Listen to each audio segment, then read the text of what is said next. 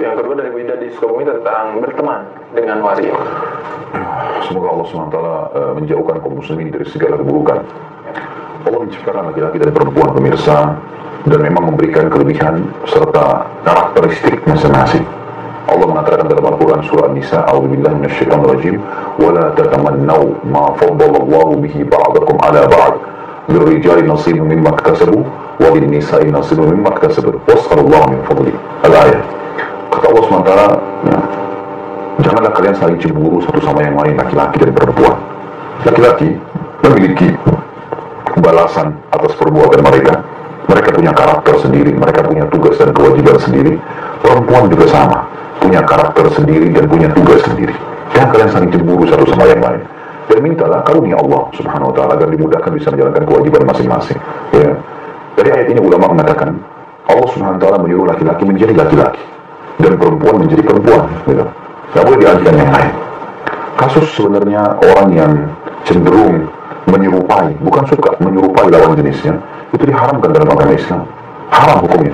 Hadis Bukhari kata Nabi SAW, Allah melaknat laki-laki menyerupai perempuan, cara bicaranya kah, jalannya kah, gitu kan itu nggak boleh pakaiannya kan dan juga Allah melaknat perempuan yang menyerupai laki-laki sama terbalik dua-duanya tidak boleh memang masing-masing harus jalan dengan fitrahnya dan kalau ada orang yang seperti ini sifatnya tadi waria misalnya uh, lebih cenderung kepada masalah homoseksualnya lagi. Belum kita bicara masalah itu ya.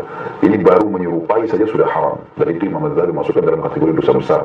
Belum kita bicara dengan dia cenderung kepada uh, menjadi lawan jenisnya maka dia akan menyukai orang yang sesama jenis dengan dia. Laki-laki dia suka ingin jadi perempuan maka dia akan suka laki-laki tidak jadi homoseksual perempuan. Yang mau menyerupai laki-laki lawan jenisnya dia akan suka sesama jenisnya perempuan. Maka dia jadi lesbian gitu kan? Dan ini Nabi SAW mengatakan ya, uh, apa namanya uh, lesbian di antara perempuan adalah zina di antara mereka. Walaupun tidak menggunakan mohon maaf kemaluan laki-laki gitu kan? Tetap mereka kalau bercumbuan dan segala lesbian atau homo itu adalah perzinahan di dalam mata syariat kita gitu ya dijelaskan dalam syariat kita. Yang saya ingin datangkan dari panjang lebar riwayat ini adalah kalau perbuatan yang dilakukan tidak boleh dan dia memang menjadikan itu sebagai karakternya, sifatnya, pembawaannya, maka nggak boleh juga berteman dengan dia. Jadi, secara otomatis itu. Karena itu ada kelainan. Sayangnya di Indonesia dianggap waria itu ya sebuah prestasi, bahan lucon. Kalau lihat hadis Bukhari, ya menjelaskan kepada kita ini sebenarnya penyakit yang harus diobati gitu. Bahkan Nabi SAW dalam hadis Bukhari pernah menemukan ada seorang waria di sana Nabi SAW ada gitu yang suka laki-laki. Kemudian dia ngobrol dengan seorang sahabat yang kebetulan Nabi SAW dengar waktu lewat gitu kan. Dia kenal suka pada sahabat laki-laki ini untuk menarik laki-laki ini supaya suka sama dia. Padahal dia juga laki-laki gitu.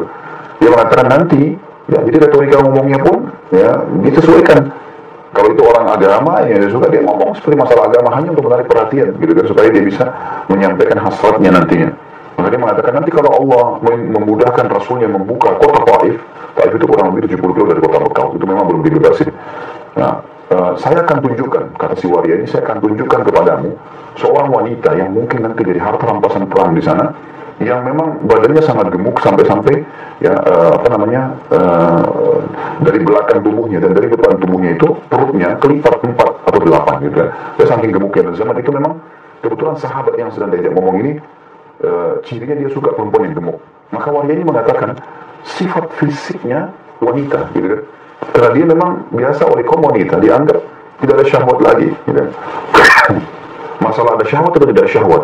Bersentuhan dengan lawan jenis masuk dalam ancaman hadis Nabi SAW la yut'ananna ahadukum bimikhatin min hadid khairul lahu min an tamassuhu min an tamassu uh, yadahu imra'atun la tahillulah seseorang antara kalian ditusuk dengan besi yang tajam jauh lebih ringan baginya dibandingkan. Maksudnya hukuman Allah nanti hari kiamat jauh lebih ringan daripada ya dia menyentuh uh, kulit wanita yang bukan uh, halal bagi dia. Jadi walaupun waria, tersentuh tetap sama hukum Allah SWT. Karena dia laki-laki dalam di, di pandangan Allah.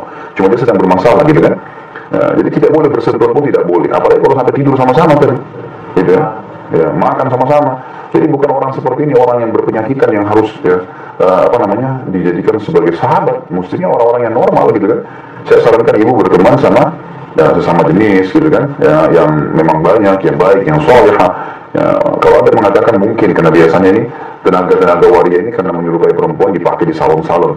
Anda bisa pakai tenaga salon jenis Anda dan Anda juga bisa menjaga keimanan di situ ya karena eh, tidak adanya nanti di salon khusus untuk muslimah misalnya untuk wanita sehingga tidak perlu waria ini berinteraksi ya dengan eh, apa namanya eh, dengan eh, wanita-wanita juga kalau dia sentuh maka akan terjadi hal pelanggaran agama tadi yang terjadi dari hadis Bukhari pada saat Nabi SAW dengar dialog atau pembicaraan antara waria ini dengan sahabat tadi dan Nabi SAW tahu dari gerak-geriknya waria dan dia bukan penduduk Madinah.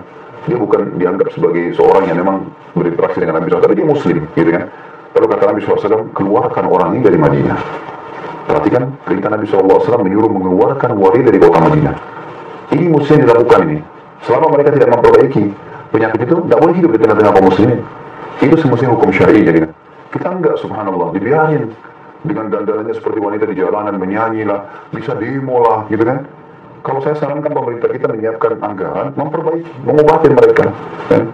diobati penyakit itu dengan ahli dokter-dokter spesialis. Kemudian eh, mereka dinikahkan dengan cara baik-baik supaya penyakit itu hilang.